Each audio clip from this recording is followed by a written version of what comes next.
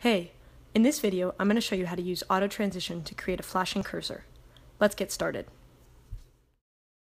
As soon as you place all the assets, you'll see a navbar, a keyboard, a form field, an enter arrow, and a cursor. Set them up like so, with the keyboard placed just below the navbar.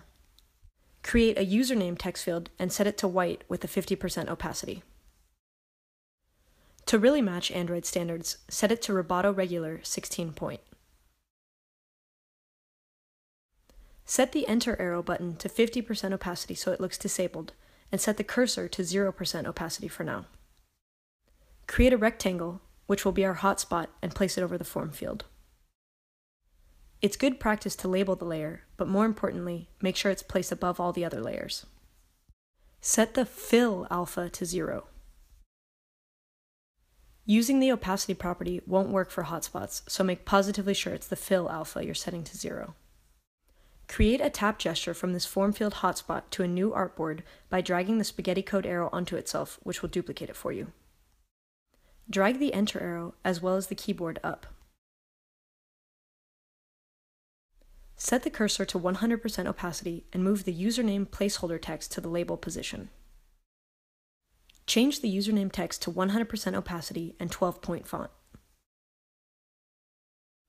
Let's check out the interaction so far. Looks good. Now we want to make the cursor flash, so click on the entire artboard and create an auto transition to itself.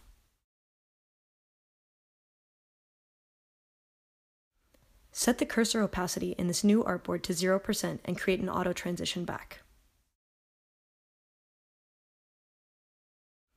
This looks good, but to make it even more realistic, set an ease in and out curve on one of the auto transitions.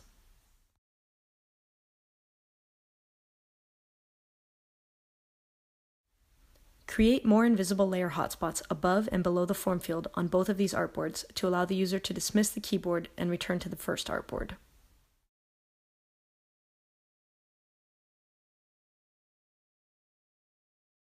Remember to put the hotspot layers above all the other layers.